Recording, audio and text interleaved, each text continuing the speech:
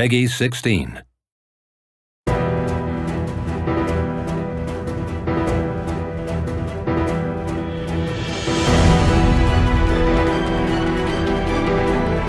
With Rubrum now fighting alone in the battle for peace in Orience, we follow the elite combat force of Class Zero deeper into battle as they improve their skills.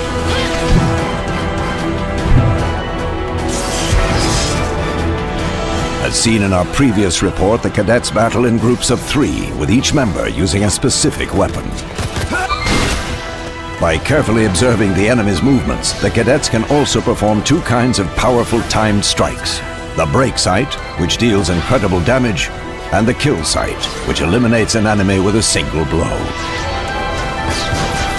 Class Zero has 14 members that can be called upon in battle.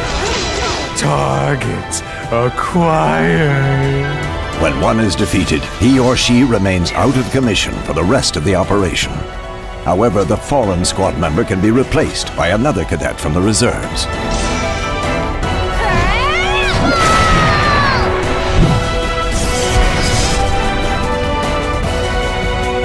All the members of Class Zero brandish weapons that allow each of them to perform a number of unique special attacks. As the cadets gain experience in combat, more abilities become available. They move very quickly. What shall we do? We do nothing for now.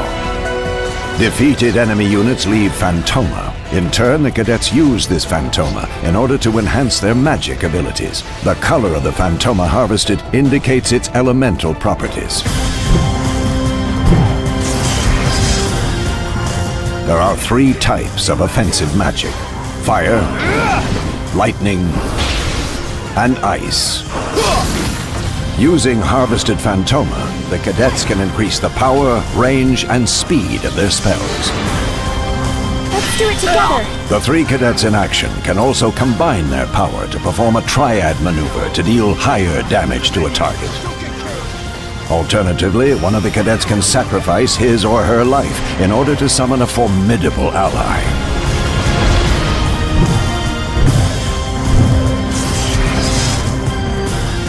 These summoned monsters are called Eidolons. As with any fallen cadet, the sacrificed squad member can be revived by returning to base. With the various tools in their arsenal, Class Zero's combat style is adaptable and intense, and like nothing this reporter has seen before. Throw in the cadets' magic and skill, and the elite combat force of Class Zero is, indeed, a force to be reckoned with.